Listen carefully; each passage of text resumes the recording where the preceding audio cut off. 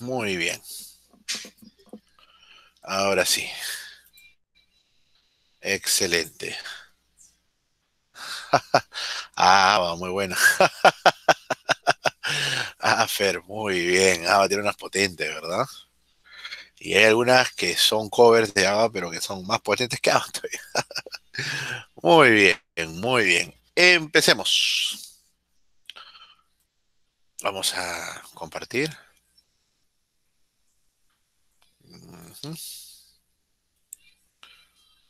Muy bien. Entonces, eh, habíamos visto un poquito la cuestión geopolítica, ¿no? Eh, por parte de por parte de esta batalla de Cádiz, ¿no? Pero también queda ver este y revisar eh, su obra, eh, quedé revisar eh, su obra arquitectónica, que tampoco era poca cosa, ¿eh? Sí, vamos a, o sea, el tema de, estatuas, eh, sí, gobernó pues durante casi 65 años, ¿no? Vamos a ver rapidito algunas de sus... Encima de la entrada de su templo, él mandó colocar una inscripción él mandó colocar una inscripción grabada sobre la roca llamándola Ella por quien el sol alumbra. Bonito, ¿a que sí? En los años 1900 fue la que libró contra el dios de los israelitas. Se preparaban para huir.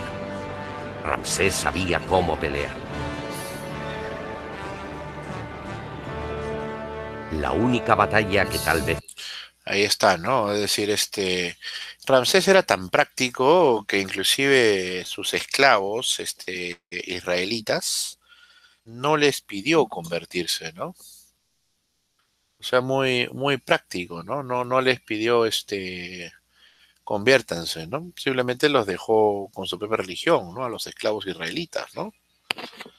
Así que, este, cualquier día se va a romper. ¿ah?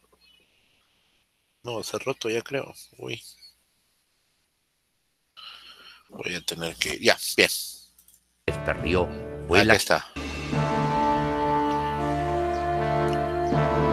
Vamos a ver Cuando se convirtió en faraón, Ramsés construyó un templo tan tremendo que se iba a transformar en su logo para siempre y en un icono en todo Egipto. Ramsés era todavía un veinteañero cuando empezó a construir Abu Simbel. Está en Nubia, más allá de la frontera sur del antiguo Egipto. Era un proyecto único. La mayoría de los templos estaban hechos con bloques de piedra adosados unos junto a otros y luego eran tallados. Abu Simbel fue esculpido en una montaña. Tuvieron que desarrollar nuevas técnicas para cortar la roca. A los artistas los bajaban desde la parte superior de la montaña en andamios para que dibujaran la enorme parrilla que serviría de guía a los escultores que labraron las cuatro estatuas de Ramsés sentado en su trono de 160 metros de altura. 160 metros. ¿Por qué construir un monumento tan increíble en un lugar tan apartado? Allí jamás hubo una gran población que pudiera ir a adorar al templo. Se trataba de pura propaganda. Ramsés quería que todo el mundo le tuviera miedo, Nubia era la fuente de oro de Egipto, y el templo era un temible recordatorio del poder de Ramsés ante los nubios. El viajero que llega hasta aquí se encuentra con cuatro estatuas colosales en el exterior del templo que le están mirando hacia abajo. Y luego, en el espacio físico que es el templo en sí, se encuentra con unos grabados representativos de la vida de Egipto.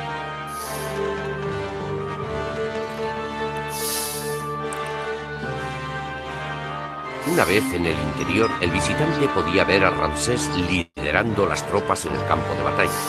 Las riendas de su carro... Ya cae más, Es la historia bíblica del Éxodo, una de las partes cruciales del Antiguo Testamento.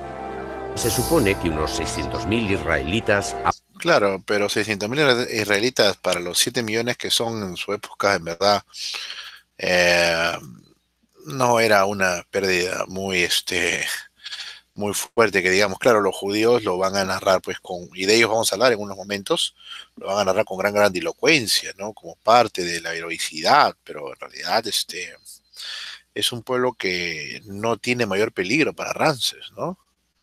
Pero para Ramses, este, todo peligro, si se quería ir, que se vaya, ¿no? No, era, era muy, muy práctico, ¿no? Muy bien, entonces hemos visto nosotros un poquito eh, el tema de la importancia de la practicidad de, Ramsés.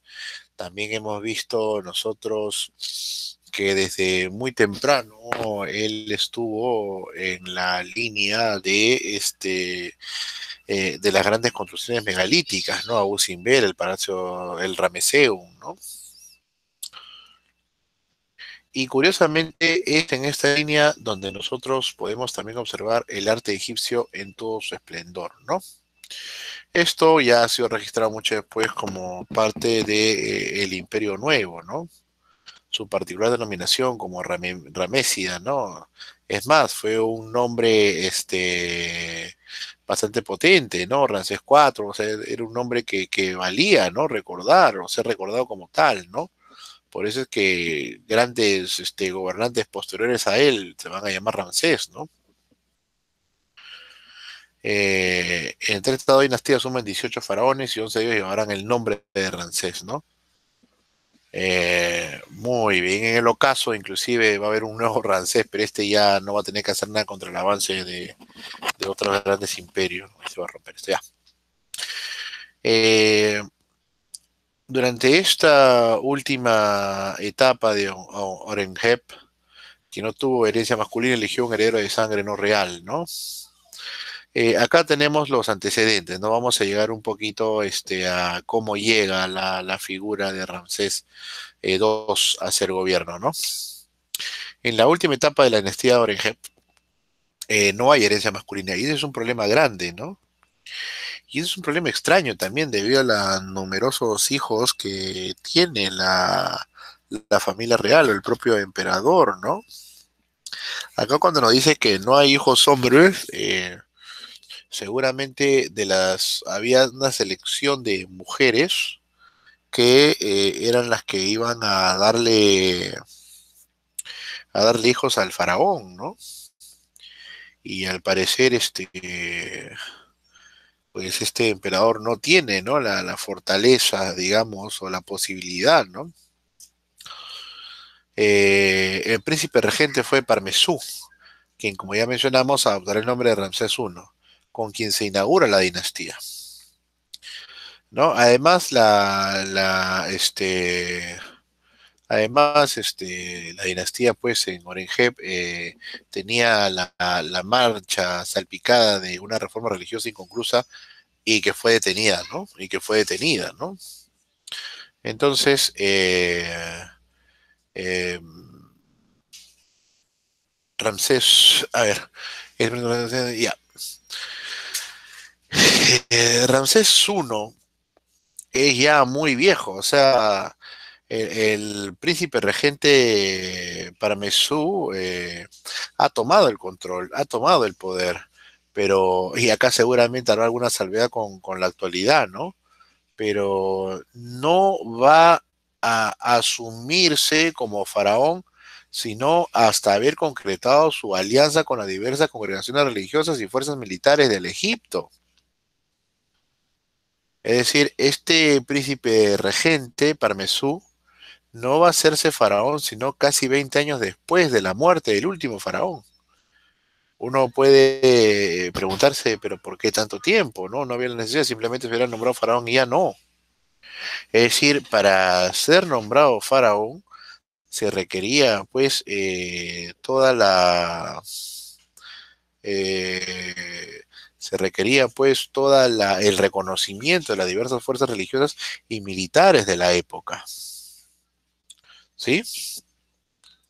En otras palabras, solo cuando Parmesú tiene la plena seguridad de que va a ser reconocido, de que va a ser proclamado sin ninguna O sea, digamos, digamos, que no se va a proclamar de buenas a primeras, ¿no? Va, a tomar su, tiempo, va a afinar las relaciones con las diferentes congregaciones religiosas, con los militares.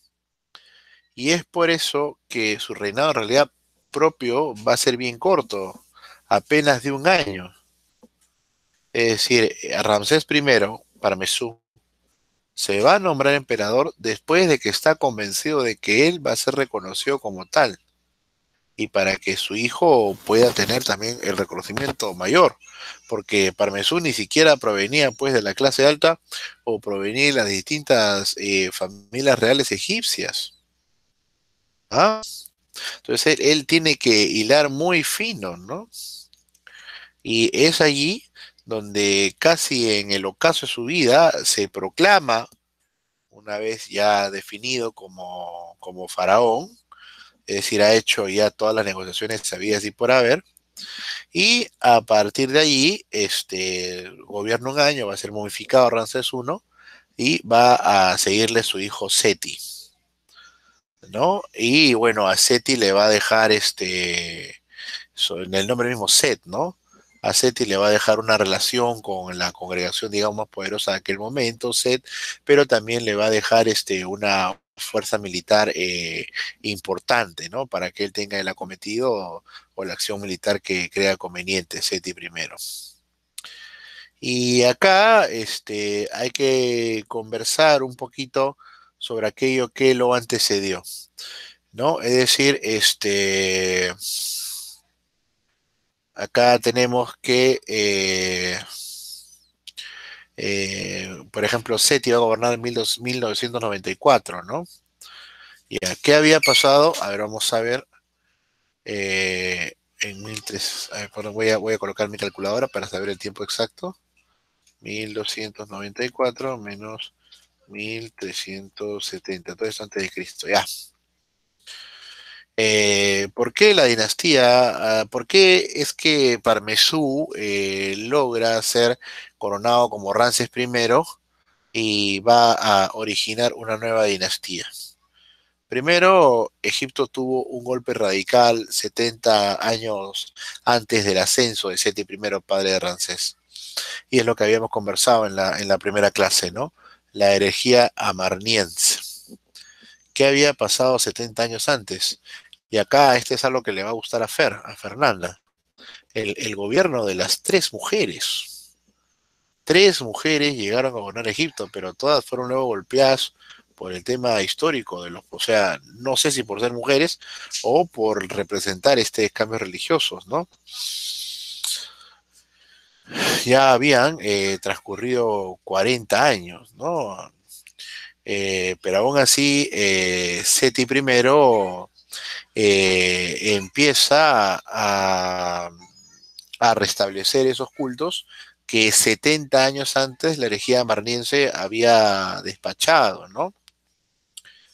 Eh, eh, tal vez el golpe más duro que dio a Kenatón fue hacia la desaparición de toda la clerecía del dios Amón. ¿No? Habíamos visto un video, ¿no? En torno a, a ¿no?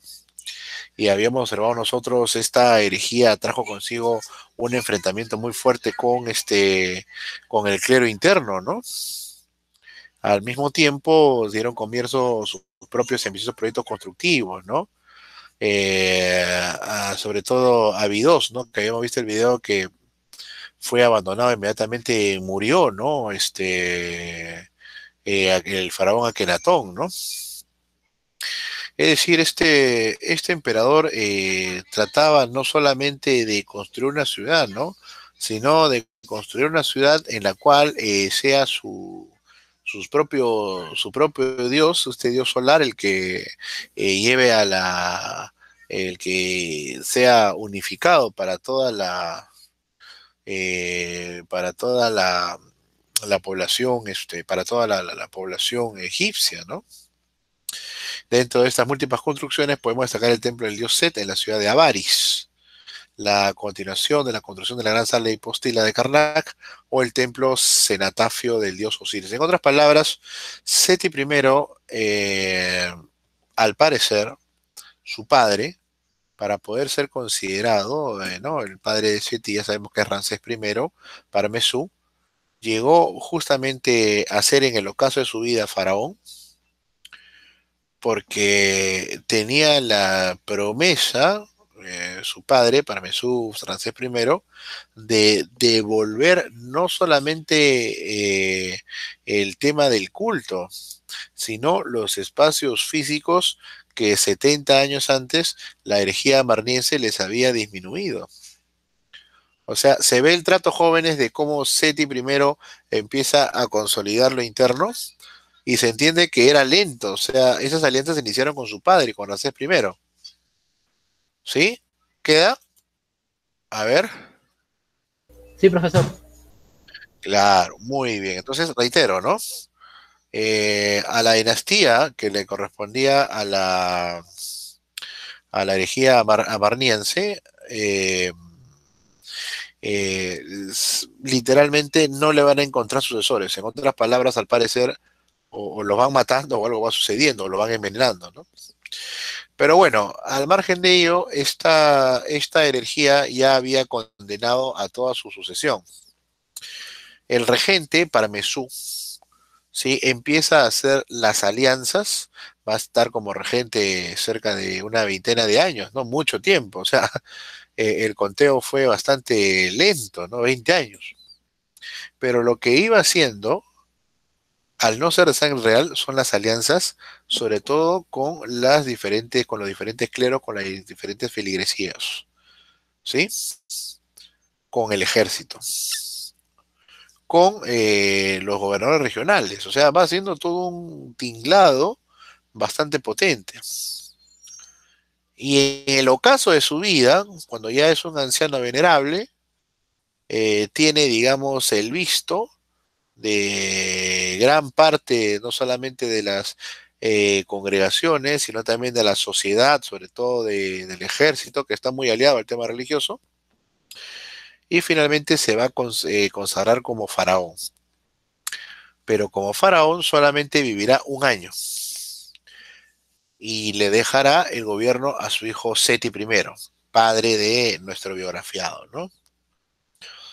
Seti I eh, debe cumplir las promesas de su padre. ¿Sí? Y las promesas de su padre eran eh, devolver los espacios de culto, los templos, seguramente también allí estará eh, de tema importante el, Allí también seguramente estará de, tema importante eh, el tema de la tributación. Eh, el tema de la tributación, ¿no? Entonces, pues, efectivamente, eh, esta situación va, esta situación de herejía que había demorado casi unos, este, unos 70 años, va a terminar y va a llegar a su fin con la dinastía Racemedia, ¿no? Ramésida, ¿no? Eh, del registro arqueológico relativo al periodo de Amarná. De esta ciudad. Por eso se llama Amarniense, también conocida como la herejía de Atón o el reinado de Amenofis IV o Agenatón, ¿no? Surgen principalmente tres figuras femeninas de gran relevancia, independientes de las hijas del rey, ¿no? Estas son Tilla, la madre del faraón, Nefertiti, la gran esposa reliquilla, con quien muy probablemente el faraón herético había engendrado su único heredero sobreviviente, ¿no? Tutankamón. Eso significa que acabaron con toda su gente.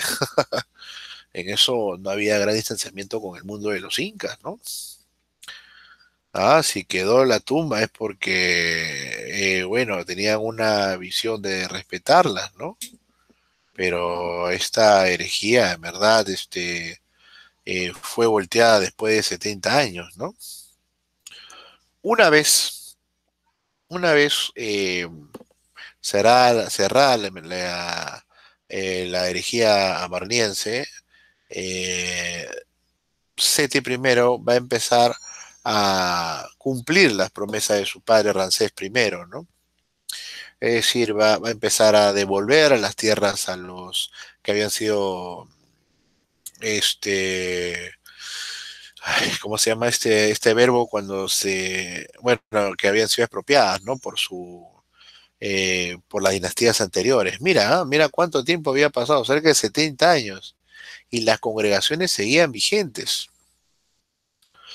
En otras palabras, religión, poder, sociedad, simbolismo, gobierno, eran parte de un mismo tinglado. No hemos visto, por ejemplo, cómo a los pobres obreros de esta ciudad este, eran enterrados sin más, ¿no? Cosa distinta, por ejemplo, a las grandes autoridades.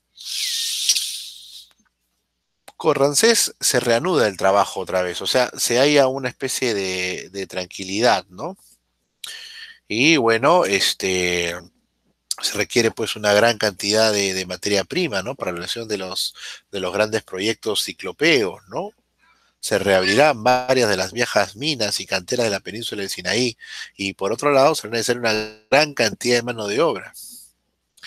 Es decir, a pesar, a pesar de que había perdido la batalla de Kadesh y él la había visualizado como que la había ganado, eh, se sucede pues que eh, seguramente eh, hubo pueblos que empezaban a ofrecer eh, esclavos como parte de la tributación a los egipcios. O sea, la tributación no solamente era en trigo, no solamente era en granos, que por sí ya era bastante importante, ¿no? Sino también este, la tributación podía a, a, través de, de hombres, ¿no? Eh, se inician varias campañas militares en Nubia, es decir, para consolidar el poder en el sur. Mm, interesante. Y eso que se está haciendo fama de una batalla perdida, ya a los de Nubia no les quedaba claro si habían ganado los sitios, si habían ganado los egipcios, ¿no? Si ven ellos que ha quedado empate, pero ven cómo se está levantando un templo de, de, de, de más de 160 metros, efectivamente dices, o sea, estos no han perdido la guerra, ¿no? También a través de estas campañas militares se asegurará la correcta explotación de las minas de, oro en este lugar, ¿no?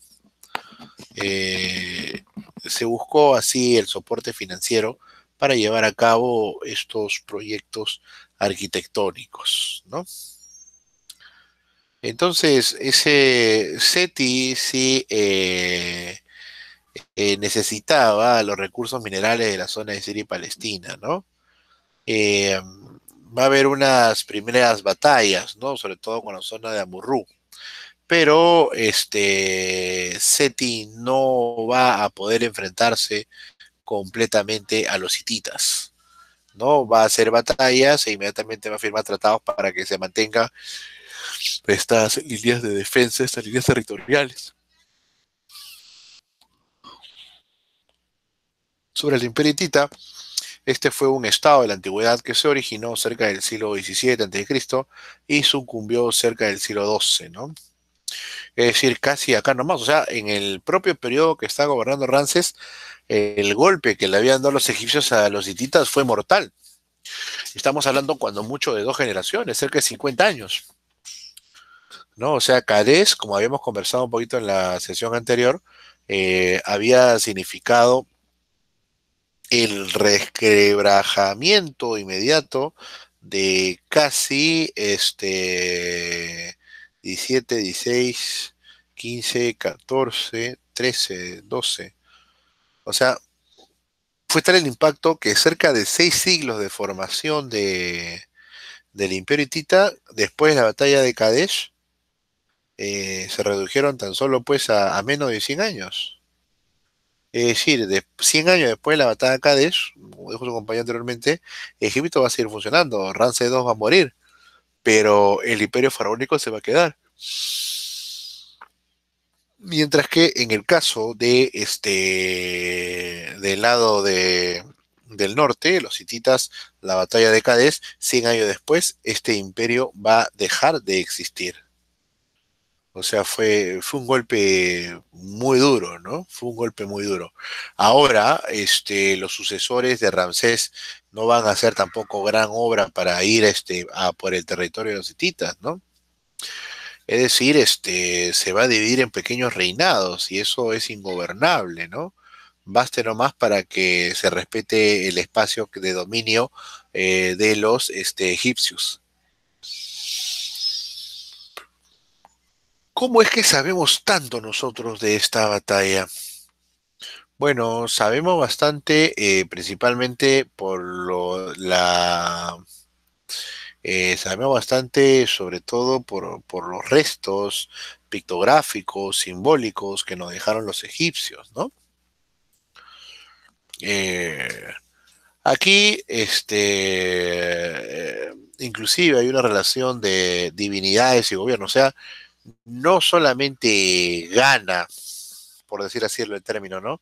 No solamente gana el faraón, ganan también todos los dioses que acompañaron a, al faraón en esta batalla. ¿Sí? El sacerdocio de Amón fue acrecentando su poder, ¿no? ¿Por qué? Porque el clero de Amón es, al parecer, el que tenía el viso de confianza del faraón. Por eso es que muchas veces eh, los cleros de distintos dioses trataban de estar en paz no solamente con el faraón, sino tratar de ganar su, su, su, advocación, ¿no? Entonces, no solamente jóvenes en la batalla triunfa el ejército del faraón, triunfa su sacerdocio. Otra vez, entonces, la relación divinidad-gobierno. Y es que estamos en el mundo antiguo en el mundo antiguo nunca, nunca va a estar claro la división entre poder político y entre poder religioso. O sea, eso no va a estar claro. Y está bien que así sea, porque esa es la profundidad que tiene el mundo antiguo. Eh, este sobreposicionamiento de la figura del faraón y por supuesto de, de su familia, este, va a significar también, curiosamente, la debilidad de los aristócratas que están a su lado. Es decir, la figura de Ramses se ha encumbrado a nivel de divinidad. Es decir, mira, es decir, su abuelo, Ramses I, el regente Parmesú, el regente plebeyo, es decir, eh, Ramses tiene sangre plebeya. Por tanto, no está atado a las diversas familias reales. Seti decidió llevar la fiesta en paz, fue restaurando las diversas divinidades, los diversos cultos, no se hizo problemas con las exigencias propias de la aristocracia. Pero evidentemente ni Seti ni Ramsés eran de origen aristocrático. Al contrario, Parmisú era el, el servidor de copas, pues, de la antigua dinastía que recién a su vejez va a ser nombrado faraón. Es decir, en otras palabras, en realidad no esperaban a Ramses, ¿no? Lo que iban a hacer era finalmente la aristocracia desaparecer a Seti. Eh, Seti va a ser más astuto, va a consolidar su poder a través de las relaciones contra los hititas, pero finalmente Ramsés va a dar la estocada final a esta aristocracia local, ¿no? Y los va a subyugar hacia sí, ¿no? Eh, eh, pero claro, estamos Ah, ya, Carlos Daniel, a ver, este, ¿me decías, por favor? Te leía, ¿por qué fue elegido quién? ¿Rancés primero, Seti o Rancés segundo? Allá, allá Rancés primero. Pues, ah, decía que, ajá, como no era de sangre real, no... O sea, yo pensaba que si es que lo escogían, quizá había una reestructuración o una crisis en el... Muy bien. Entonces, esa era mi consulta. Muy bien. Y Gianfranco nos dice la dinastía del pragmatismo, ¿no? Sí, ya está bien. Eh, listo para el pasaporte. ya. Muy bien, muy bien. Este, acá hay que hacer este. Eh, ahí, ahí hay que revisar bien, bien el ascenso, de, por ejemplo, el ascenso de, de, la dinastía merovingia. Yo creo que esta, la historia antigua, bueno, esta ya es medieval, ¿no? Yo llevé medieval con la doctora Flores. ¿Ustedes están llevando medieval con la doctora Flores antes de darle el paso a Gianfranco? No, profesor, todavía no llevamos ese curso. Ah, ya, llévenlo con la doctora Flores, ¿ah? La doctora Flores es como esa, o sea, nadie la, nadie la va a cambiar, ¿ah? Pero que vas a aprender un montón, vas a aprender un montón de historia universal, te lo aseguro. Bien. Gianfranco, tu pregunta, por favor, adelante. Y ahorita, después de eso, voy a darte. Sí, profesor, complementando a la pregunta de mi compañero Carlos, es decir, por ejemplo, ¿por qué no, no asumió el cargo otro miembro de la nobleza? ¿Por qué fue elegido uh, Seti? No, disculpa, Ramsés primero.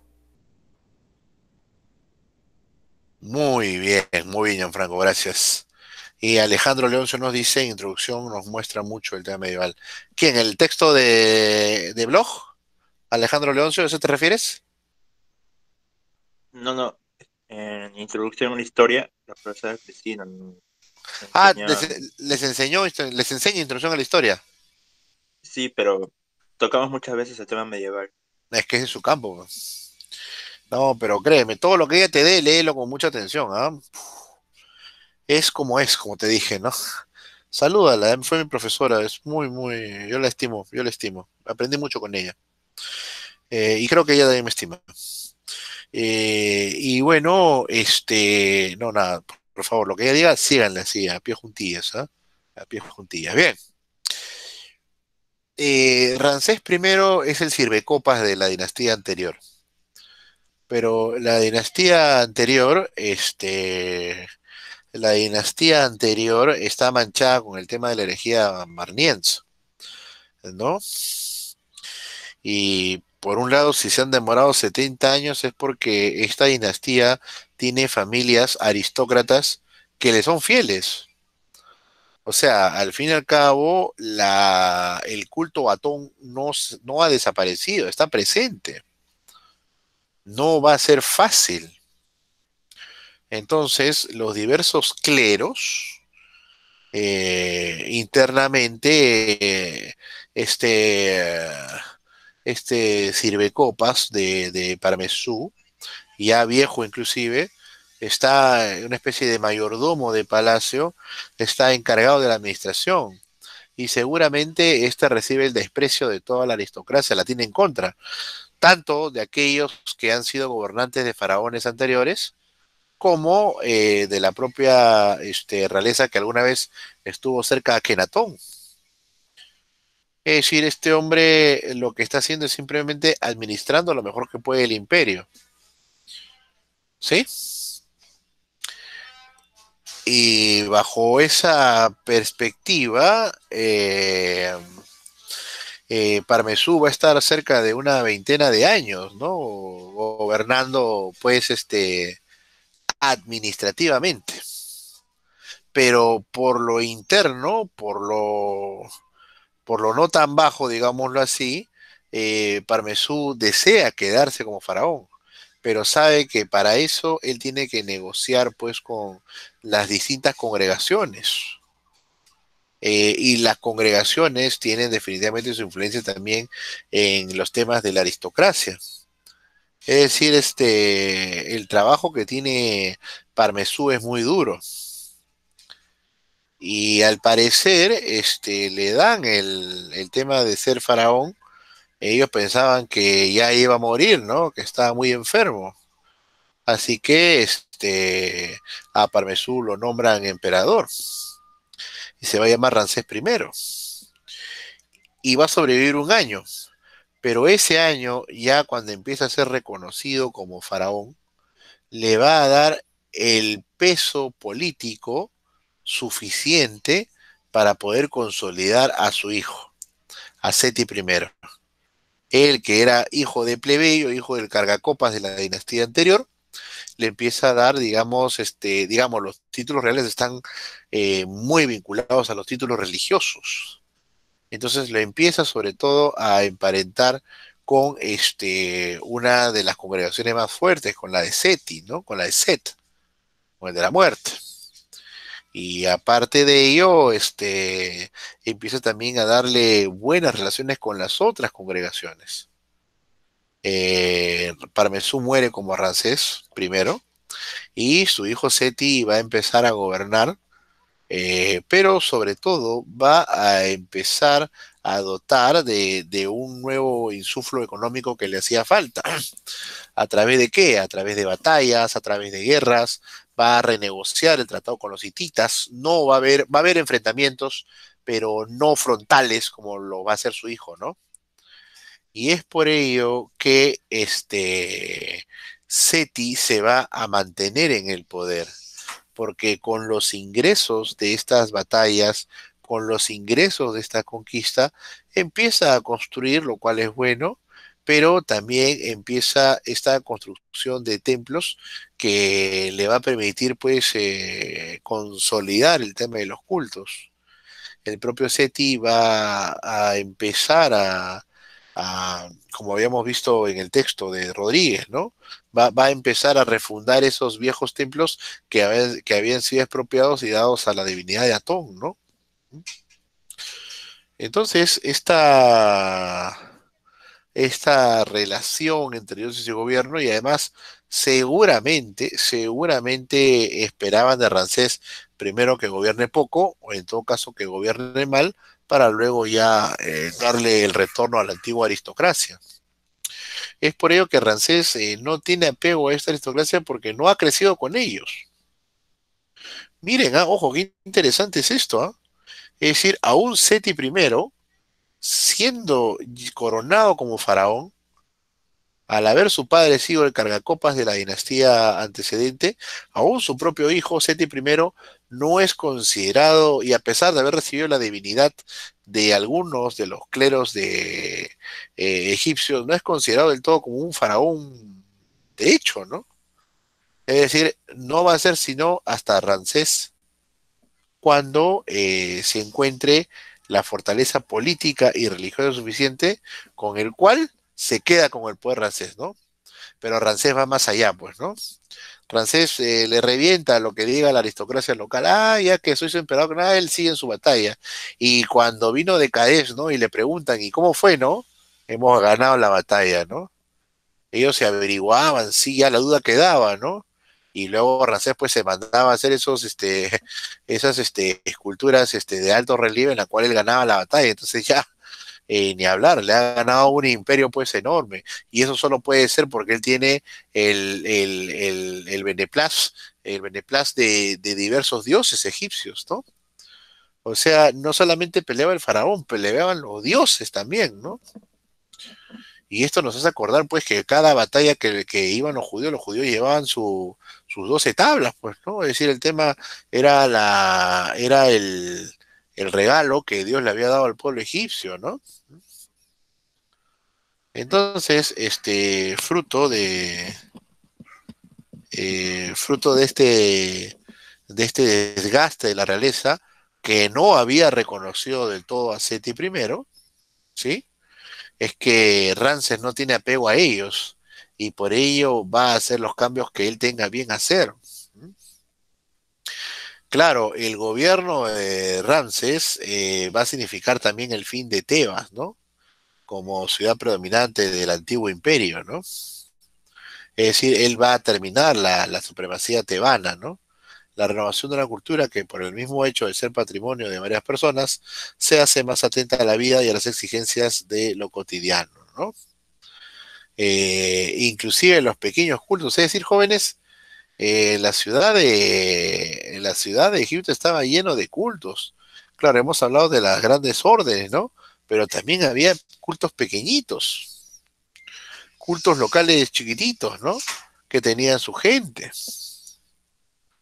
y que, este, es decir, esta era la, línea politeísta del gobierno de Seti como de Ramses, ¿no?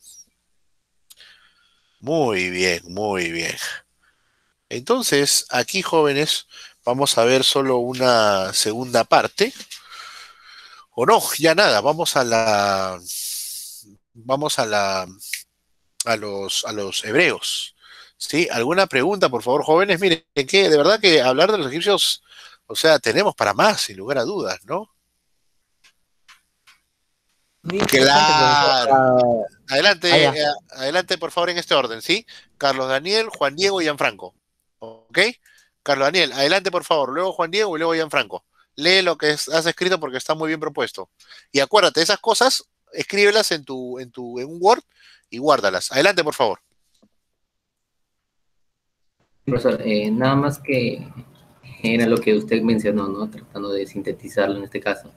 Eh, como Parmesú pues este, se presenta en este caso como una suerte de, eh, bueno, yo lo relaciono más que nada con Pachacútec, aunque no parezca tanto, ¿no? Porque Pachacútec es un organizador del imperio, pero como una especie de estabilizador en este caso de todo este caos que vive en Egipto, ¿no? Eh, y pues que no contó con este apoyo de la aristocracia que usted decía, no era como su talón de Aquiles, se podría llamar. En este caso, para que él pudiera tener un gobierno o, para que su gobierno este continuara, ¿no? Eh, y que al final sí, sí resultó, ¿no? Eh, la dinastía pues este, continuó e incluso se tuvo una segunda o, un, este, mm, ¿cómo se le podría decir? Se arraigó la dinastía con esto de Ramsés, ¿no? La, victoria de Ramsés sobre el imperio hitita, ¿no? Una victoria este, consagradora, se diría, de, la, de esta dinastía, ¿no? Eh, que llevaría pues este, a más el, imperio egipcio, ¿no?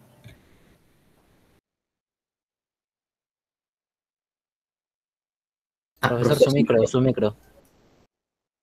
Solo acotaba eso, ¿no? Que Pachacútec sí era noble, pues.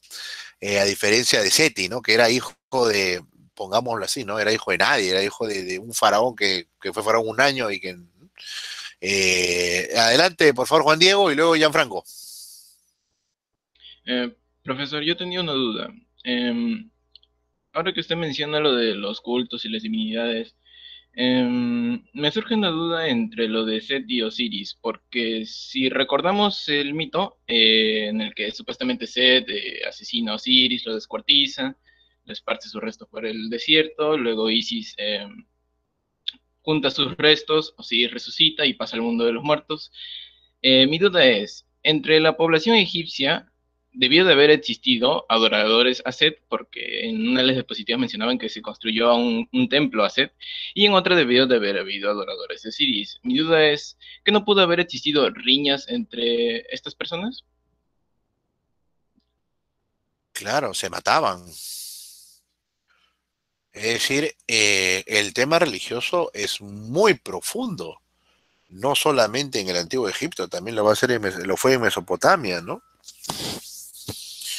Hemos visto, por ejemplo, que Nabucodonosor este, pudo hacer lo que hizo porque, curioso, ¿no? Pero los grandes emperadores nunca han sido aristócratas y nobles, han sido gente que se ha ennoblecido a la, prepo, ¿no? Claro, como que la aristocracia como que se adocena, ¿no?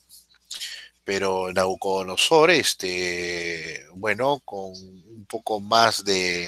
Eh, es que tampoco no manejaban ellos la población que sí manejaba Egipto y Ramsés, es decir, eh, es más en modo de alianzas, ¿no? Eh, pero este eh, el caso, aquí el caso de Ramses pudo hacer lo que hizo por su padre Seti. Y Seti, por supuesto, proviene de Avaris, es decir, proviene del delta del Nilo, de una zona, pues, este, de esclavos, una zona miserable, ¿no? El siguiente Nilo es muy rico, pero es también el que más inunda y claro, a la vez también la tierra más agrícola, ¿no? Un poco más que de campesinos, ¿no? Pero lo que sí tiene claro eh, Seti primero es que su relación con el clero de Set es, también parte con ella. O sea, por ejemplo, cuando Seti primero hace la, eh, la estrategia, ¿no? De, de, hacer las primeras luchas con un imperio aliado contra contra los hititas y firma una especie de tratados, eh, tienes que instaurar su, propio, su propia posición este, diplomática.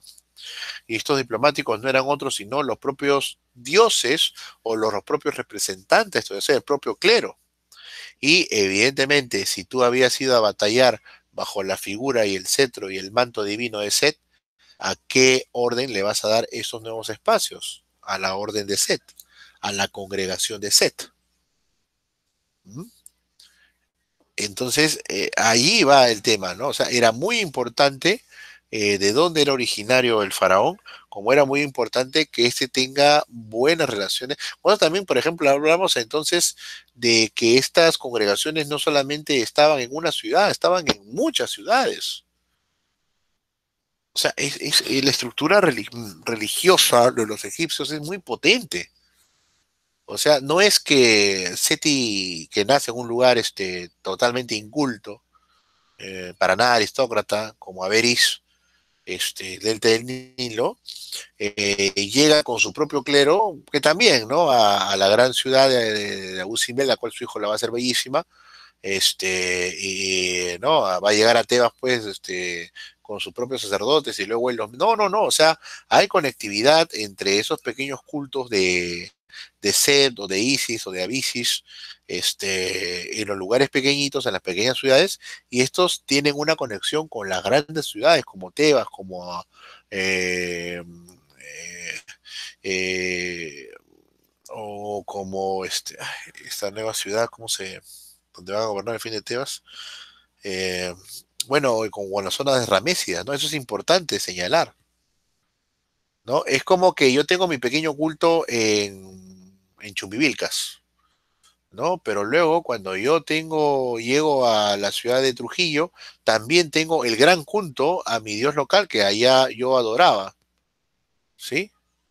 Ah, es parecido como por ejemplo a la divinidad de Atenas, ahí está, ¿no? Atenas recibe diversos nombres, ¿no? Atenas cretenses, Atenas tebana, Atenas, este, en fin, ¿no? Ya, algo así, ¿no? Y esta conectividad con los dioses locales a través de, esta, de, esta, de esta adoración a la cual está inmersa su familia, llega a la gran ciudad de Tebas y esta vez ya no se conecta solamente, se conecta con la propia congregación de Set, pero a la vez con los que tienen ya un alcance, digamos, a, a gran territorio, ¿no? A gran macro, ¿no? Eh, sí, Juan Diego, por ahí va un poco el tema. ¿Ok? No es que él adoraba a Set en su, tierra de Avaris con la de su familia y lleva a su clero a... No, no, no, o sea, ya hay un clero que adora también a Set, pero que tiene mucho mayor poder y control de territorio cuando él se asienta en Tebas. ¿Sí, Juan Diego? Juan Diego. Está bien, profesor. Muchas gracias. Sí, pero quedó o te queda una duda, a ver, este... a ver, dame, dame, adelante. Lo, que me causa duda es de que supongamos que tenemos una ciudad en la que hay pequeñas congregaciones, uno de, adoradores de Set y en el otro de Osiris, me refiero de que, no sé, supongamos que, o sea, no puede haber un choque ahí entre estos dos, o sea, como una especie de mm, pequeña eh, desestabilidad en el ah, A eso me Y supongamos que hay, por ejemplo, una guerra entre Egipto y se tengan que unir a estas ciudades. ¿No puede haber pequeñas riñas que impidan, en cierta forma, el apoyo total de Egipto, unido como uno solo en una guerra? Ya te entendí. Es que tú lo estás pensando, tú lo estás pensando como la nación de, de los incas, pues, ¿no? Que a la caída de los incas, por ejemplo, inmediatamente los huancas, los, los, este, los caxamarcas, los todo eso le dan el apoyo a los españoles, ya, ya, ya, ya. No, ahí este, el tema religioso está bastante más asentado, pero el tema religioso tiene un solo tronco, el faraón. Por eso es que su padre Seti durante una veintena de años eh, está que se demora para poder consolidarse como tal. ¿Sí, Juan Diego? O sea, esa figura, por ejemplo, no la tiene el Inca. El Inca no es Dios, sino para la propia etnia Inca. ¿Sí? No tiene esa figura. Él no era, él no era Dios para los, este, para los chinchas, no era Dios para los chachapoyas, no era Dios para los huancas. Era un opresor. En cambio, en la antigüedad, en el, en el Egipto imperial, el faraón entronca, consolida las relaciones religiosas. Por eso la importancia de su figura. Y por eso es que duran lo que duraron, por lo menos el, el Imperio Nuevo, cerca de 800 años. ¿Sí, Juan Diego? No, estoy bien, profesor, gracias. Sí, eh, a ver, vamos a ponerlo así. ¿Cuál sería la diferencia entre un faraón y un inca? Para darle pie a Gianfranco, que le hemos alargado mucho. La diferencia sería en que el inca es nombrado Dios. ¿Sí? sí Pero va a ser respetado como Dios por la etnia inca. ¿Sí? Para los, huancas, para los huancas no es un dios. Para los Huancas es un jijuna que le hay que darle vuelta cuando se pueda. Los faraones, claro, para el faraón, él es Dios. Y para los egipcios, él es Dios. Y esta divinidad no se la discute nadie. Es decir, los, los principales cultos de ese momento lo reconocen como Dios. Y entonces los cultos pequeños establecen el culto a su Dios y el culto al faraón. No, ya, ya ahora sí lo entendí, profesor. Claro, lo estabas pensando como Inca. No, no, no, no. No, el Inca es un dios para la etnia Inca y todo lo que tú quieras, pero no para los huancas. Si no, no hubieran ido a Cajamarca para escupirlo, vas a escupir un dios. Muy bien, muy bien, Juan Diego. Gianfranco, ahora sí, uy, te hemos hecho larga la pregunta, disculpa. Gianfranco, adelante. no, nada, profesor, no se preocupe. Ahí tengo un par de apreciaciones. Bueno, nadie duda de la figura enaltecedora de Ramsés, ¿verdad? Con, con su imagen próspera de expandir su imperio y más cosas. Igualmente, yo quisiera hacer una analogía con lo que fue Hammurabi en Mesopotamia, ¿no? Llegándolo a su máximo apogeo cultural, económico, político. Entonces, podemos concluir que las grandes ciudades y grandes civilizaciones caen con la caída de su líder, porque si vemos, después de Ramsés, ¿hay alguna otra figura trascendental como lo fue Ramsés II? ¿O hay un tal Ramsés III que no sé mucho su trayectoria, pero también he escuchado que tiene cierta importancia?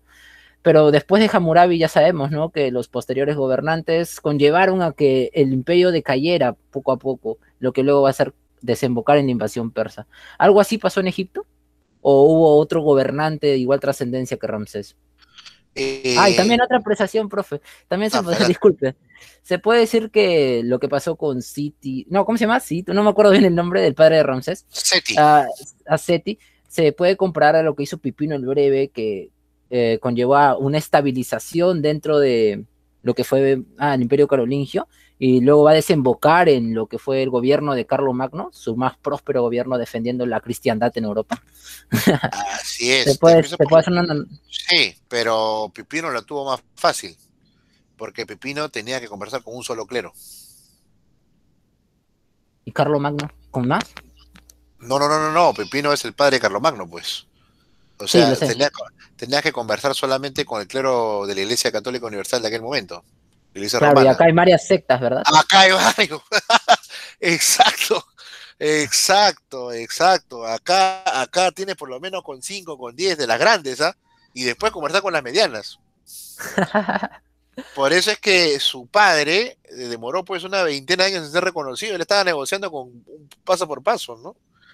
la del cocodrilo, la de la abeja, la del huevo. así es, así. En cambio, Pipino la tuvo más fácil, ¿no? Pipino la fácil. Pero sí, la analogía es correcta, ¿no? Y Carlomagno vendría a ser una especie pues, de Ramsés, ¿no? Ya estirando demasiado el chicle, ¿no? Muy bien, muy bien. Entonces, y este. A ver, estamos leyendo. Sí, así es. Profe, sí, adelante. A lo que fue mi primera pregunta. ¿Hay otro gobernante de igual trascendencia que Ramsés dentro del Imperio Nuevo? ¿Podríamos hablar de Ramsés III? No, sí hay un Ramsés III, ¿ah? Sí, pero ¿se puede comparar su la figura de este Ramsés III con la de Ramsés II? No, ¿Hizo cambios importantes? No, es que generalmente cuando un emperador ha sido muy, este, muy dado a la expansión, eh, pueden pasar dos cosas. Lo que le pasó, por ejemplo, a, a Justiniano, ¿no? Que dejó las arcas vacías, ¿no? A pesar de que por lo menos durante su periodo llegó a tener las costas del Mediterráneo otra vez para el bienestar de la de la de la de su dinastía, ¿no? De la dinastía este de Justiniano, ¿no? De Roma de Oriente, de Constantinopla.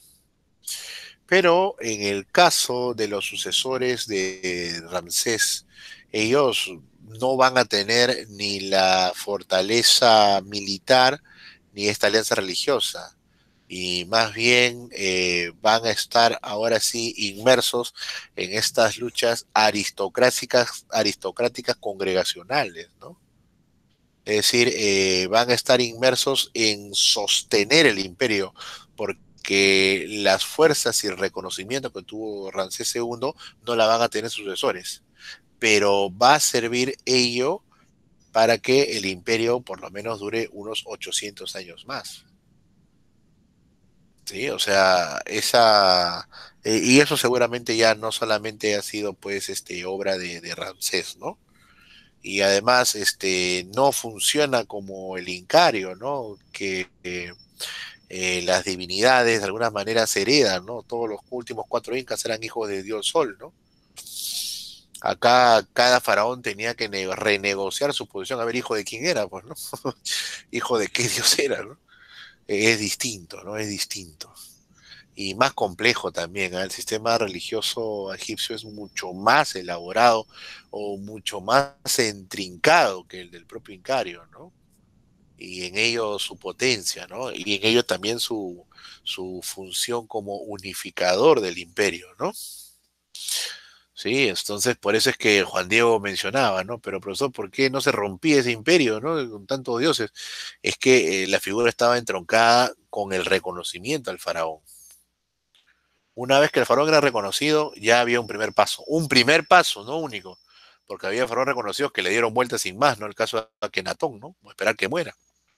O el caso de su hijo Tutankamón.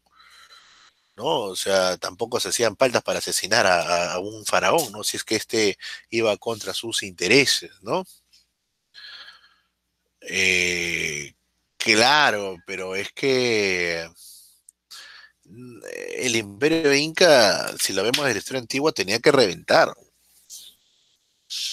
Porque los incas no solamente sojuzgaron los cleros locales, ¿ah?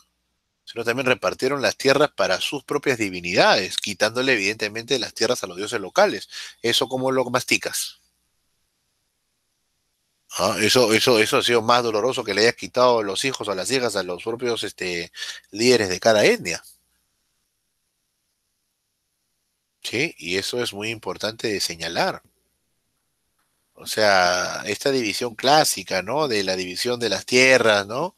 En la cual es, este, ah, había alguien que, eh, perdón, perdón, a ver, ¿quién había faltado? Anderson, no, y no, ¿no? Leoncio aquí está, ¿no? Sí, sí, incluso ha intervenido, ya, asistió, ya, y este, Sebastián, ya, bueno, ya nos comentó, eh, ya, y solamente ha faltado Anderson, ¿no? Bueno, ya, ahora sí. Profesor, disculpe. Adelante, adelante. Profesor, no solamente hay que destacar el orden interno que mantiene Ramsés, ¿no? Comunicándose con todas las sectas religiosas dentro del imperio, sino también la diplomacia que tuvo con el exterior. Por ejemplo, en la batalla de Kadech, después de ella, creo que se casó con la hija de, del rey de los hititas, ¿verdad? Sí, eso, o sea. Inteligencia, tanto en la diplomacia. Claro, claro, o sea, se está casando con la hija y a la vez también solapamente está sojuzgando a los hititas. ¿Por qué? Exacto, lo que va a hacer Napoleón años posteriores, ¿no? Lo que va a hacer la figura de Napoleón con su... O sea, ese tipo estaba muy bien aconsejado, ¿ah? Yo creo que tenía unos muy buenos consejeros diplomáticos que, que le, o sea, se está llevando a la hija, ¿no?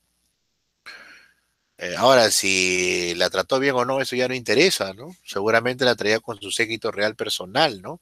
Pero no más. O sea, en realidad no está casando con la hija, la está capturando. Y es más. ¿Capturando? Wow, claro. ¿por qué ese término? Claro, o sea, tú que, o sea, tú que has perdido, se supone que le has hecho de igual a igual la batalla a, le está dando igual la batalla de igual a igual a los egipcios, este eh, tú crees que la, la, quiere mucho, que se enamoró de ella, no, es parte del tratado. Esto, yo te voy a respetar tus territorios, pero dame a tu hija, ¿no? Excelente. Claro, claro, es parte del trato, del que ha perdido. Claro, Nicole, ahí, este, en efecto, ¿no? Una especie de alianza política pero las alianzas se hacen de igual a igual. ¿ah? Esto es una sujeción asolapada. En eso sí era igual a los incas. Los incas vencieron a los guaros. Eh, profesor, siendo fría, a ver, dime, dime, adelante, adelante, Fer, Fernanda, adelante, dale. Profesor, yo me había planteado la, eh, la suposición de que podría ser una rehén, pero en sí, siendo fría, en esa época las mujeres no valían mucho, es como que solamente era una como decir, una joya o una pieza un objeto, así que si supuestamente un rey de los hititas que tiene como que varios hijos y es una hija eh, de, yo qué sé, de una docena, es como que, entre comillas, no sería, no sería un rehén, sino solamente sería un objeto de intercambio, pero en sí no es un rehén porque no tiene importancia para el rey hitita, eso es lo que yo digo, no, como que yo no la consideraría un rehén en sí pero podría ser, porque no sabemos cómo fue la mentalidad de Rey, pero en sí yo, por mi parte, no la consideraría una rehén porque por su valor, ¿no? Que tenían las mujeres en esa época, siendo fría, muy fría, muy fría, era. Muy bien, Fer, gracias. Sí, efectivamente, ¿no? El tema de las alianzas políticas dentro más fría que mi. el tema de las alianzas políticas al interior de, de la etapa de Rancés eh, están para ser estudiadas, ¿no? Algo van a encontrar ustedes en esas aparatos auxiliares que les he colocado, ¿no? Sí, pero, pero están para...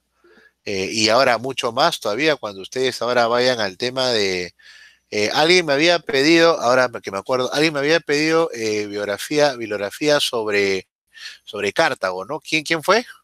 Ahora mismo se lo mando. ¿Quién nos pidió bibliografía sobre Cartago? Para llegarlo también al, a nuestro class. Que ahora mismo se lo damos, ¿no? Normal, póngalo. Ya, Porque yo voy a tratar el tema de la guerra contra Cartago. Ya, ok, son dos grupos que tratan Cartago. Perfecto. Ajá. Ahí está, listo. Eh, por ejemplo, ahí ya la mujer tiene una posición más influyente que en la antigüedad, ¿no?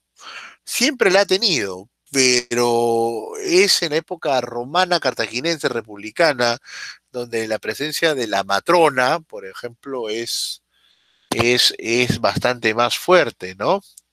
Exacto, Carlos Daniel, tal cual. Lo cierto es que trata de una especial alianza por lazos matrimoniales, tal cual, muy bien. Y ahora sí, vamos a, a compartir pantalla. Wow, wow, eh, qué bonito. ¿ah? Y eso que estamos conversando, jóvenes, estamos conversando horas, horas, cuatro horas del mundo antiguo. ¿Sí? Y, me ha gustado su participación. ¿ah? Camila, ¿dónde está mi amiga Camila? Camila.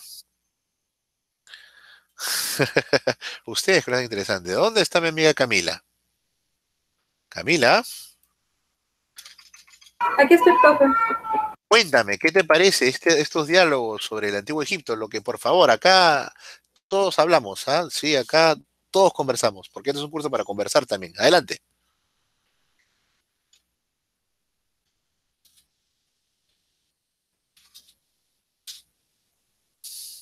Adelante.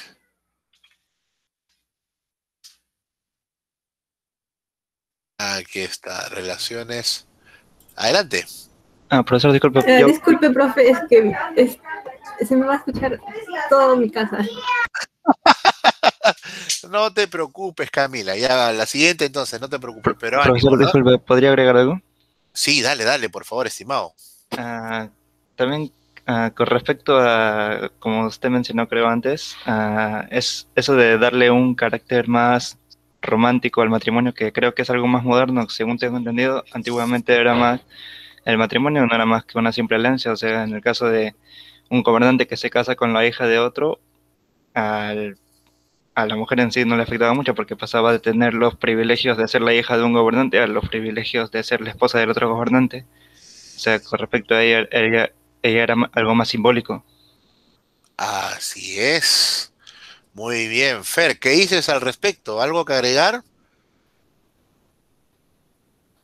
Eh, mm, bueno, eh, lo único que tengo que agregar sería, bueno, eso, se, eso, lo que ha dicho mi compañero es correcto, pero también tenemos que ver en base a las culturas, ¿no? Como eran culturas diferentes, cuál sería el cargo simbólico que le darían a cada mujer como mujer. Por ejemplo, hay, hay una cultura que a las esposas se le da un papel, ¿no? No solamente como de, bueno, en otras épocas, ¿no? De solamente de dar hijos, ¿no?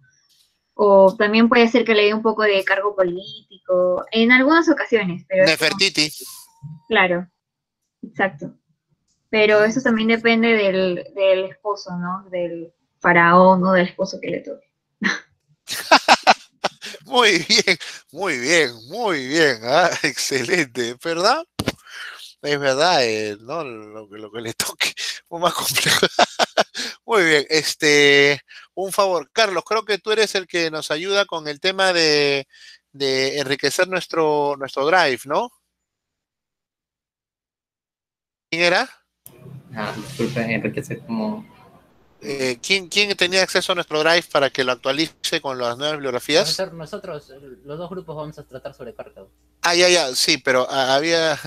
No, no está muy bien, Fernando, no te preocupes. Sí, pero había alguien que tenía acceso a nuestro drive. Bueno, todos tienen acceso al drive, pero alguien nos ayudaba a, a, este el drive donde tenemos la.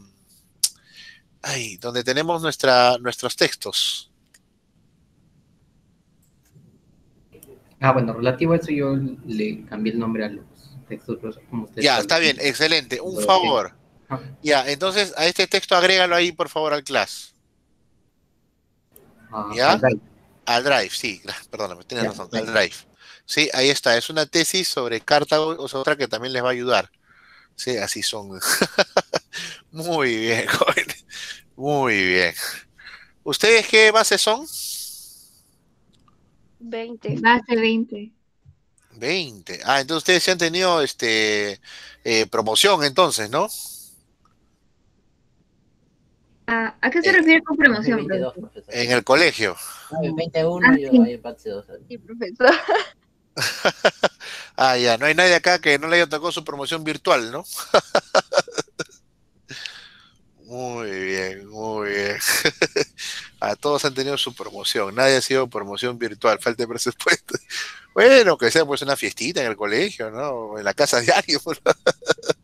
Muy bien, muy bien, jóvenes. Muy bien. Sí, pero al menos han tenido, pues imagínate los de ahora, ¿no? Los que tengan hermanos, por ejemplo, menores, su promoción, como han hecho el baile de promoción, todo virtual, ¿no? Muy bien. ¿Ah? Muy bien, jóvenes, muy bien. Ya, entonces, por favor, ahí he agregado una tesis de la Universidad Autónoma de Barcelona. Tiempo de vals, un, dos, tres, un, dos, tres. Ahí nomás en su casa, el tiempo de vals. Muy bien. Entonces, jóvenes, por favor, ahí agreguen ese, esa tesis. Sí, que voy a, está muy bonita, la voy a, la voy a compartir rapidito.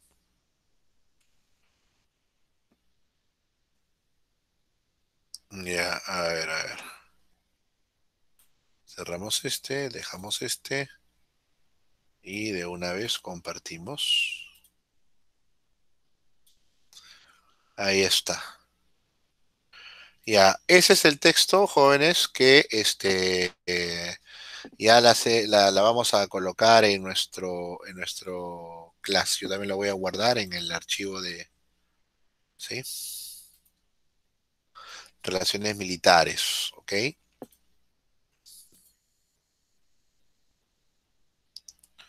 Relaciones militares Cartago.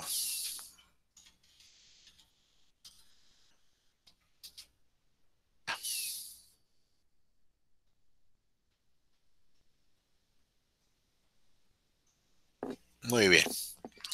Ya, entonces eso por favor a colocarlo en el class, perdón, en el drive para que todos tengan ahí acceso. ¿Sí? Ya está, listo. Ahora sí vamos a dejar de compartir. Y perfecto, ahora sí volvemos a lo nuestro. Ya me acordé ya. Eh, Gabriela. Gabriela. Gaby. Ah, sí, profesor. Hola, Ángela. ¿Te, te- está bien que te llama Gaby? No hay problema, ¿no?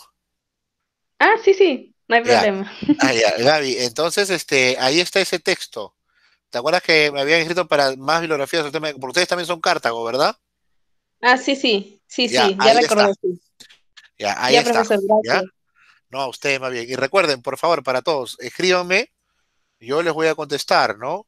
Y si no es ahí es porque ya va a ser jueves y viernes y entonces ya les contesto en, en clase.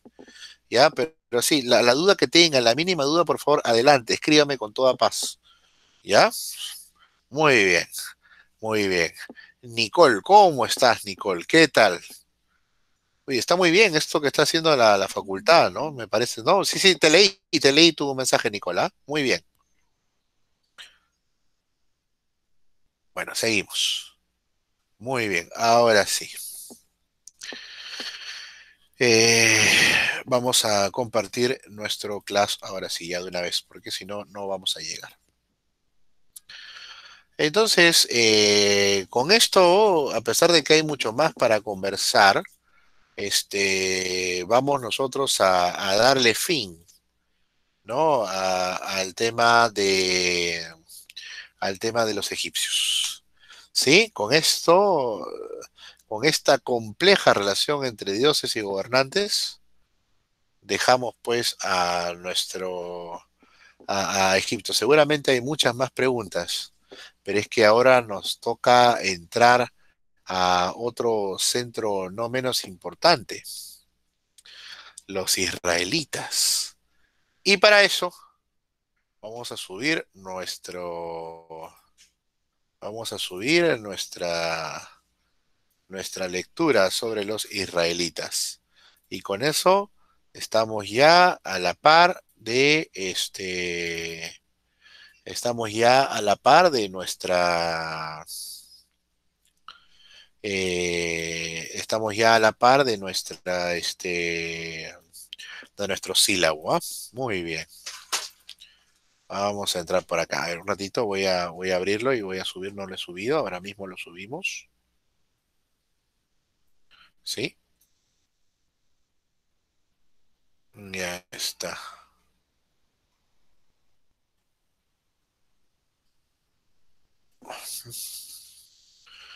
Ya.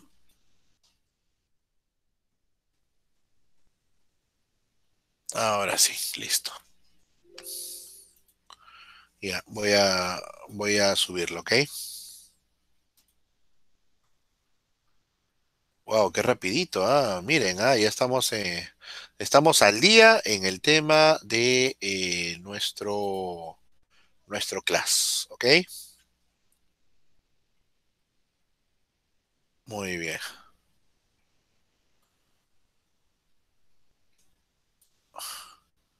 Me van a decir, por favor, si tienen acceso a su lectura. Ya saben que todos mis, mis trabajos tienen, mis exposiciones tienen su, su PPT ahí guardadito. ¿Ya? Muy bien. Ahora sí. Empezamos. Por favor, me confirman si en los PPTs del curso ya tienen acceso al de los hebreos. A ver, confírmeme, por favor. Sí, ahí verifiquen.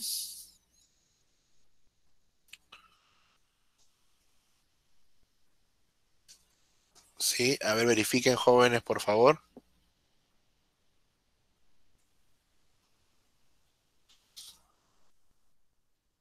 A ver, jóvenes.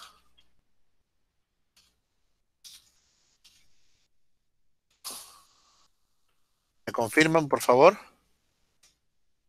Disculpe, profesor, yo estoy en el Classroom y lo único que me sale hasta lo más reciente creo que es el video 6 de Babilonia, Egipto. Eh, eh, fíjate PPT, a ver, voy a ver el class. Voy a ver el class, a ver, a ver, a ver, a ver. Eh, siempre es importante. Vamos a ver, doctor, a ver, a ver, a ver, a ver, a ver, a ver, a ver. A ver, a ver.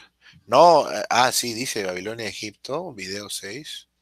Voy a actualizar.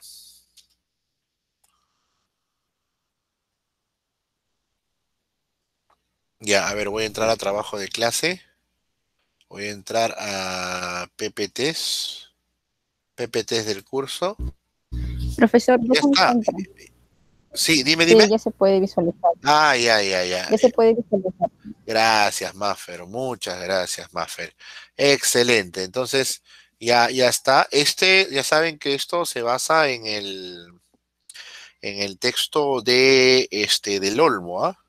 Sí, pero vamos a, vamos a empezar con una, con una visión de, de Moisés. Sí, porque sobre él vamos a, pero de un Moisés histórico, ¿ah? Ya, vamos a, vamos a conversar ahora mismo sobre eh, Moisés, ¿no? Pero vamos a ver. Mm. Bueno, es que Moisés ha sido tan este eh, tan tocado que este Moses es Moses. Eh, bueno. Eh, la figura de Moisés, que es lo que nosotros vamos a trabajar, eh, aquí está.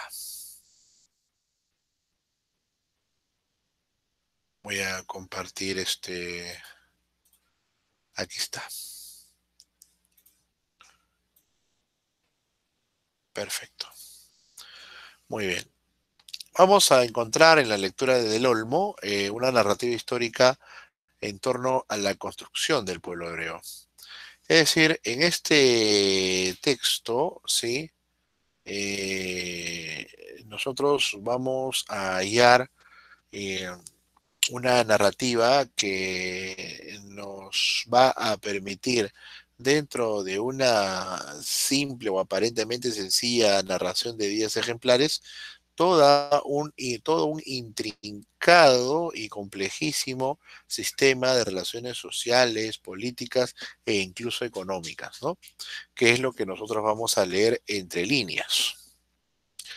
Es decir, por ejemplo, la Biblia también ha sido un recurso histórico eh, muy importante, ¿no?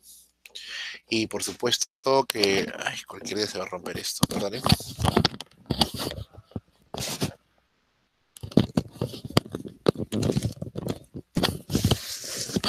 Y ahora sí, disculpen, sino que esto se va, tengo que llevarlo a, romper esto, Dios santo.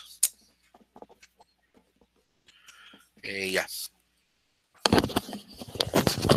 Eh, la, la, la, Biblia nos va a prestar a nosotros figuras de, de, grandes héroes, ¿no? Josué, este, Sansón, el, rey David, etcétera, etcétera, ¿no? Entonces, eh, va a haber también acontecimientos históricos que van a ser narrados, por ejemplo, la figura del héroe de, la figura, perdón, de la Torre de Babel, ¿no? Entonces, en esta narrativa hay que tener algunas muy importantes orientaciones, ¿no? Eh, primero, el tema de la creación, el tema de Adán, es decir, una especie de, de semblanza, ¿no? Es más, los primeros capítulos, ¿no? Se van en esa línea, ¿no? Adán y Eva, Caín y Abel, Noé y el diluvio, ¿no? Es decir, eh, la narrativa que nos presenta la Biblia va a significar también este no solamente una línea histórica arqueológica, lo cual eh, siempre ha sido tomado como tal, ¿no? Aunque claro, no literalmente, sino también en verdad una línea más intensa, más dramática, ¿no? Por ejemplo, con el tema de los patriarcas, con el tema de Abraham, por ejemplo. Repito, esto ustedes lo van a ver con más detalle en el texto de Del Olmo, ¿sí? Del cual ustedes ya saben, acceden con un clic. Eh, no, el tema de, de, Abraham, pues, o sea, aquí está, ¿no? Es el, el hombre que tiene una relación de, de búsqueda con, con, Dios, ¿no? Eh, y es más, él, él nos va a narrar a Abraham un Dios muy, muy celoso. ¿no? Es decir, es, es un Dios que no permite otras eh, divinidades, ¿no? Entonces, esta relación deja de ser lineal para concentrarse en la figura de los patriarcas, ¿no? Es decir, ya no es solamente Adán, ya no es solamente su, sus hijos, Caín y Abel, no, ahora se empieza a concentrar en unos pocos. Recordemos que gran parte del Pentateuco ha sido escrito pues en tiempos del exilio en Babilonia. ¿no? Los judíos supieron adaptarse bien a, a este ámbito y, y, supieron servir bien a los babilonios, ¿no? Por eso que se le va a respetar su, su vida inclusive. Entonces, sobre Abraham eh, entra en el texto del Pentateuco como un adulto mismo. Ojo que nuestra figura central no va a ser sino Moisés, pero tenemos que dar algunas aclaraciones sobre, sobre la línea de los patriarcas, ¿no?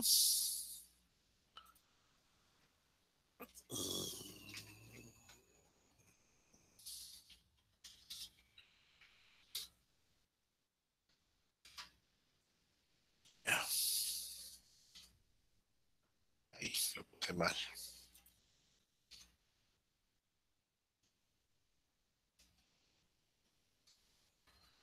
Ya. Ahí está. Vamos a ver algo, algo pequeñito en torno pues a, a los patriarcas, ¿no?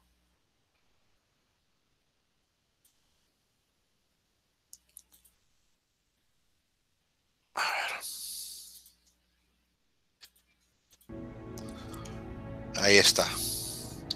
Vamos a una parte. ¿Se ve y se escucha? Sí, profesor. Excelente.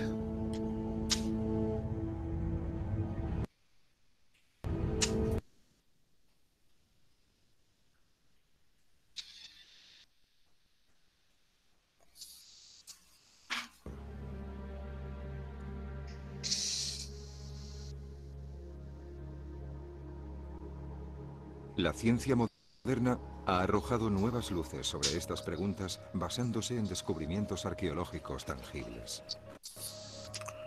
No, la pregunta es quién escribió la Biblia o qué tal libro o en qué se basaron, ¿no? Una reciente revolución en el campo de la arqueología ha transformado la idea que teníamos del pueblo que vio nacer el Antiguo Testamento.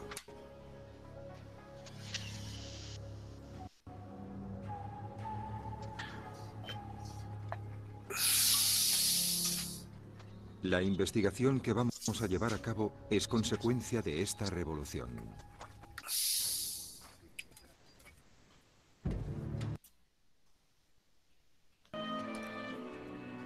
Los patriarcas.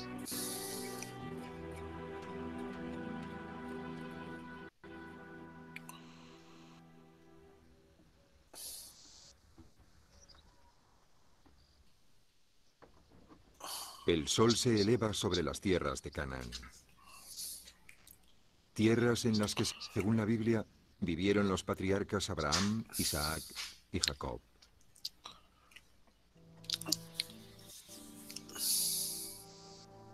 Nuestra investigación está a punto de empezar y lo hará por el principio.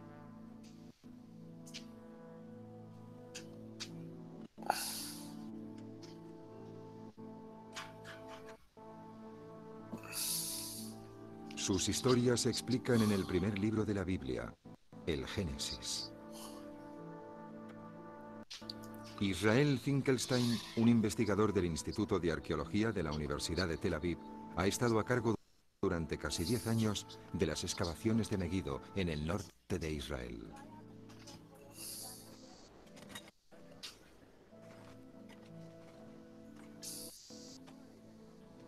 Más de 100 especialistas y voluntarios de todo el mundo participan en esta iniciativa.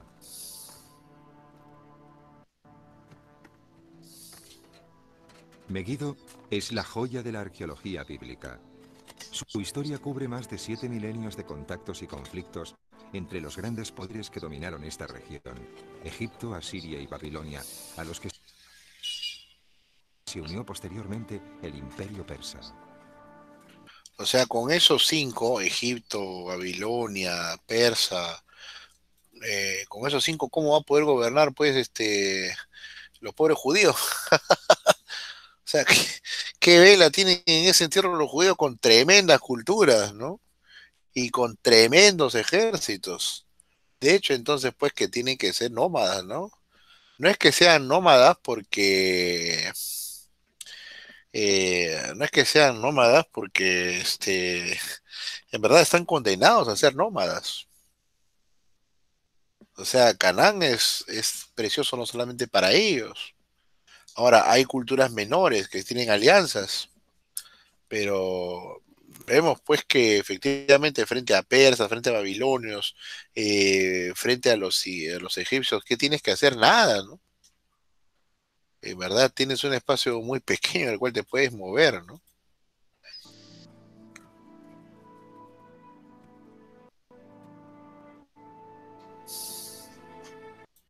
Megiddo es un tel, una colina artificial creada por capas de casas, palacios y templos construidos unos sobre otros durante siglos.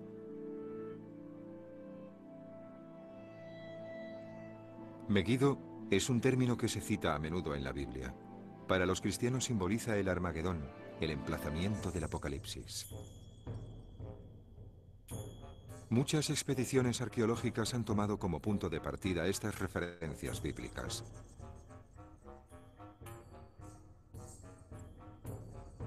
En 1903, el arqueólogo alemán Gottlieb Schumacher organizó aquí las primeras excavaciones. Se sacaron y catalogaron grandes cantidades de materiales.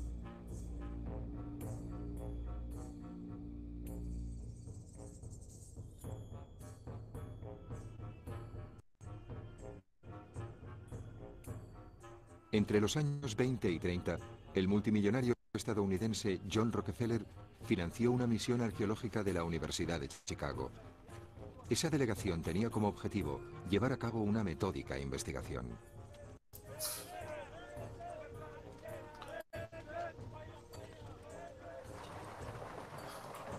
Gracias a los cientos de trabajadores contratados tanto en el mismo yacimiento como en Egipto, la expedición de Rockefeller encontró sus cimientos en el fondo de esta enorme zanja de 20 metros de ancho y 15 de profundidad.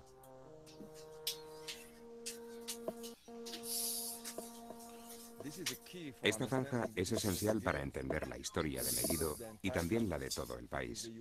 Y se lo debemos a los antiguos excavadores. Esta increíble sección llega hasta los orígenes de una historia de unos 7.000 años de antigüedad. Desde esos cimientos de ahí abajo hasta aquí, nos situamos en el siglo V antes de Cristo. 20 estratos. De hecho, más que eso, 25 ciudades levantadas una encima de otra. Es algo. Estamos hablando de la tierra de los patriarcas. Esto es reciente, ¿ah? Claro, 25 ciudades, una levantada sobre otra. Wow.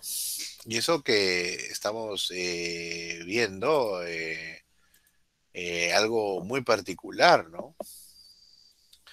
Es decir, este, esto de, de que son nómadas, este, está, está estudiándose, ¿no? Pero al menos sabemos de que sí, efectivamente, eh, el territorio en el cual ellos se, movilizaban o dominaban era eh, principalmente Canaán, ¿no? Eh, es decir, acá tenemos a, un padre, Abraham, que funda y promueve tradiciones religiosas, ¿no? Propias del líder el sacrificio al hijo, ¿se acuerdan ustedes? ¿No? Que luego, bueno, el ángel de Dios se le apareció, pues, y, y a partir de ahí ya no vas a sacrificar niños, sino vas a sacrificar corderos, el cordero mayor, ¿no? Es decir, esto ya nos da una intencionalidad este, bastante lejana, que no lo van a afirmar, pues, ¿no? Pero muy probablemente hasta antes de Abraham había probabilidades de sacrificar a, a niños, ¿no? Bastante interesante como antecedente, claro, estrictamente histórico, ¿no? Y por supuesto, la preponderancia de establecer relaciones familiares, intertribales, periféricas, ¿no? Los tres ángeles eh, visitan a Abraham como prefiguración de la, de la Trinidad, ¿no? Eh, entonces, en ese texto del Olmo que yo les invito a, leer, ahí está, ¿no? El sacrificio de, de Isaac ¿no? y de Jacob, ¿no? Una narrativa en tránsito, ¿no? Isaac y Jacob. Con Isaac, personalmente, una figura de trámite, ¿no? El esquema se completa. El relato de su nacimiento, ¿no? Como el hijo esperado. Inicialmente se acuerdan que tuvo un hijo con una esclava, Sara no podía tener hijos. Finalmente Dios se apiada de Abraham y le brinda uno, ¿no? De, esposa y de. Y de ahí también, por ejemplo, la presencia de la mujer, ¿ah? Creo que es en en la cultura hebrea, donde la presencia de mujer, incluso hubo especie de, sacerdotisas, ¿no? Este esquema biográfico eh, adquiere pues una, un, más detallado, ¿no? Eh, inclusive surge eh, en el caso de Jacob la figura de José, ¿no? Y esta narración está desde la desde que nació hasta que murió, ¿no? Que llegó a ser un alto funcionario egipcio. ¿Ah? Es decir, eso de que eh, los judíos servían a los amos, lo hacían, pues, de alguna manera, en todo caso, podríamos decir que tenían buenas relaciones con los imperios, ¿no? Y muchos de sus hijos hablaban el idioma de los que podían ser enemigos y podían este, tentar cargos de confianza, ¿no? Eso no solamente ocurrió con, con los egipcios, también con los babilónicos, ¿no? Interesante ellos, sin perder la identidad de ser judío. Alguien, eh, Nicole, por favor, adelante. Sí, profesor, yo tenía una duda con lo que mencionó con respecto al rol de la mujer en esta época, ya que, bueno, de acuerdo a la descripción que nos puede dar la Biblia, de acuerdo al rol de la mujer, em, no llego a entender cómo es que ésta puede ejercer como sacerdotisa, ya que en realidad, según este, bueno, históricamente, según el libro, muestra a la mujer dentro de un papel más sumiso que de un papel, digamos, de llevar un control dentro de esta cultura. Por eso le preguntaba. Oh, está muy bien, ah, está muy bien. El rol de la mujer en el mundo antiguo en general está bastante subyugado. Es más, eh, habríamos que esperar hasta los cultos eh, tardíos, ni siquiera de los cretenses, sino de la época griega clásica, para ver el tema de las mujeres, pues, del oráculo de Delfos, ¿no? Eh, ni como gobernantes, porque fueron borradas de la historia, esas tres eh, que trataron de todavía mantener la, la, herejía armeniense, amarniense, ¿no? En el caso particular de los hebreos, eh, sí existe una, una presencia, ¿no? Por ejemplo, para un egipcio no hubiera sido ningún problema que su, mujer, pues, o sea, o alguna de sus mujeres dé, a luz a un varón o no. En cambio, el tema de los hebreos sí venía por el tema de la alianza, ¿no? Es decir, podía tener este, hijos con este, otras mujeres, pero estos no eran eh, vistos como hijos legítimos que los haya pedido la divinidad de este, Yahvé. ¿No? El hijo de la esclava de Abraham, ¿cómo se llama? A ver, vamos a ver, no me acuerdo. El hijo de la esclava de Abraham, ¿no? Que después la, abandonaron a la pobre. Agar, ¿no? Una esclava egipcia, concubina de madre de Ismael, ¿no? Eh, y claro, Agar en algún momento le, le enrostra de que era estéril, eso no le gustó a la mujer y la abandonaron al, a la, pobre mujer este, con alguna, eh, la abandonaron pero con algunos esclavos, ¿no? Para que lo atiendan, ¿no? Pero sí, el peso, eh, eh, el peso político todavía no es muy fuerte, pero su presencia al menos se narra, ¿no? O sea, su presencia al menos está, vamos a ver por acá. Aquí está, bueno, hay este, algunos textos sobre el papel de la mujer, ¿ah? el toque femenino en la leyenda de, Moisés. Hay algunos, ah, bueno, la esposa de Moisés, ¿no? Séfora, ¿no? Que no se le menciona casi para nada, ¿no? Pero, pero, pero es interesante resaltar. Eh, a ver, le voy a compartir ese texto, ya, el toque femenino, ¿ya? Yo creo que les va a interesar eso. De hecho, eh, hay poca, hay poca mención de, la, de las mujeres y las pocas menciones que se ha visto eh, muchas veces este, de estas mujeres, como se dice, subyugadas a, digamos, a la religión o las ideas machistas de la época, eh, o, a ideas este, que quieren dar como ejemplo de lo que una mujer no debería hacer, ¿no? Es como la mujer este, prostituta que tiene que venir El Salvador para, para reivindicarla, ¿no? O la mujer que pierde a sus hijos o es viuda y que tiene que quedarse así el resto de su vida porque no puede, no puede hacer más.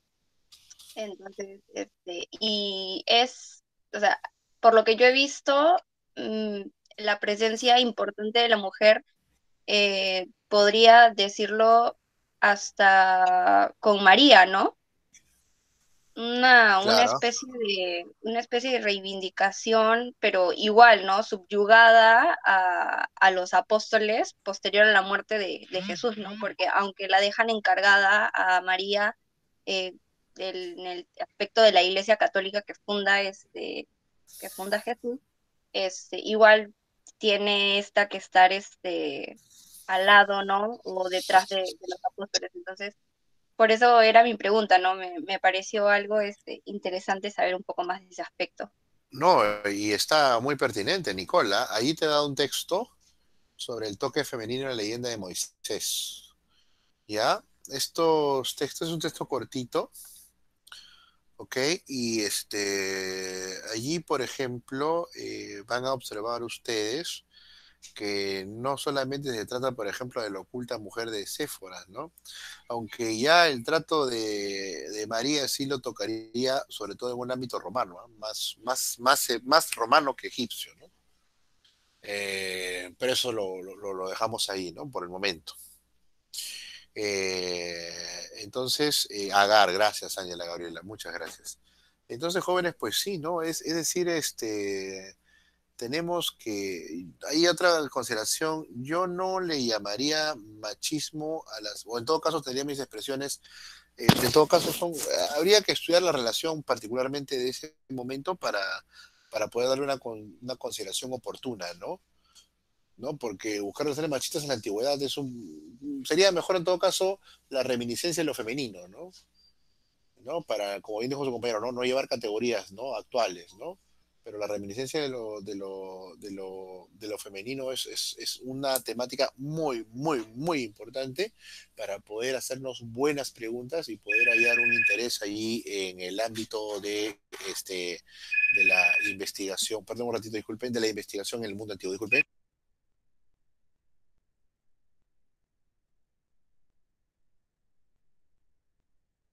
Ya, muy bien, así que muy bien, ¿ah? Muy bien, muy bien, Nicole, muy bien todos ustedes. Felicitaciones, ¿ah? Y, nos quedamos allí. Y es la una. Lo dejamos y eso que lo, terminaremos pues la, próxima semana, ¿no? Espero que les haya parecido, eh, eh, ¿no? Es, esa frase, yo creo que ha habido varias frases hoy día que podemos rescatar, ¿no? Eh, hay una que me daba vueltas, ¿no? En el mundo antiguo, este, eh, los hombres eran realmente, eran dioses realmente, ¿no? Eh, no, en el mundo antiguo los hombres podían ser dioses, ¿no? ¿No? El caso, por ejemplo, de, de Ramsés, ¿no? Eso yo creo que no se llega acá en el mundo andino. O sea, se tiene esa idea, pero no se consolida, ¿no? No hubo el tiempo. O no sé si se podía lograr al fin y al cabo, ¿ah? No sé si podía lograrse. Muy bien, jóvenes. Claro, ya se terminó. No, hay más preguntas, pero se acabó. Y eso que empezamos así puntuales, ¿no? 20 minutos y no nos falta el tiempo. Profesor, disculpe. Sí, adelante, adelante, dale, por favor, Gianfranco. Hablar de machismo en el mundo antiguo sería poco pertinente, ¿verdad? Porque ellos no tenían esa noción, ¿o sí? Eh, buena pregunta, ¿no? Claro, ellos no tenían esa noción, ¿no? Pero seguramente hay que hacer este. ¿Qué dices tú, Nicole? A ver, antes de que yo te dé una respuesta, a ver, vamos a ver. Mm, Bueno, sí, sí leí el comentario de Gianfranco en el, en el chat. Eh, No, no creo que sea de manera despectiva, sino este, si bien es cierto, ellos no tenían esa visión de machismo o el, la el concepto de machismo de acuerdo a sus costumbres y a sus creencias, pero nosotros sí, entonces podríamos evaluarlo de esa manera. Sin embargo, siempre hay que tener presente el hecho de que influye el tema de su religión y las leyes y el cómo llevaban su vida, y eso es cierto. Entonces, este, se puede mencionar que hubo machismo, sí, porque realmente de acuerdo al concepto que nosotros le damos a machismo, sí lo hubo, pero no podemos, este, digamos, como que criticarlo o querer cambiarlo porque de hecho la historia no se puede cambiar, ¿no? Entonces, pero no, no lo encuentro poco pertinente mencionarlo, ¿no? Porque es, o sea, es una realidad que, que se vive en el, en el momento.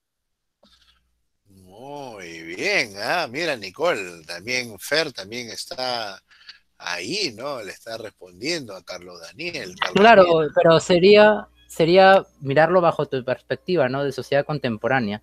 Pero si nos vamos a esas épocas, creo que no se podría considerar así. Si le haces un análisis actualmente y analizando esa sociedad, ahí sí.